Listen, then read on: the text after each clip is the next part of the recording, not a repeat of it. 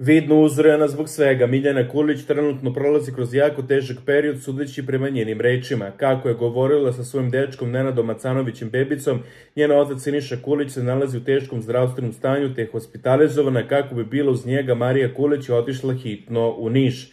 Ajde, otvorite vrata da izađemo, zovite odmah da izvedu, rekao je uzreno bebica. Otac mi je loše, mama mi je otišla u Niš i u bolnici je, hoćemo da izađemo, govorila je Miljana kroz suze.